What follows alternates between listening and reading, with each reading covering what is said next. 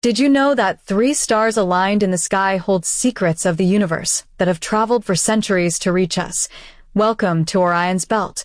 Mintaka, Alnilam, and Alnitak. These stars form an almost perfect line that has fascinated cultures all around the world. From Egypt to pre-Columbian America, they have been beacons for navigators and dreamers.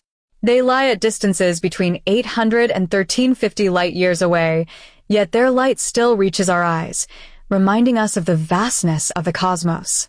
Alnitak, on the eastern end, is a triple system, with its main star shining 100,000 times brighter than the sun.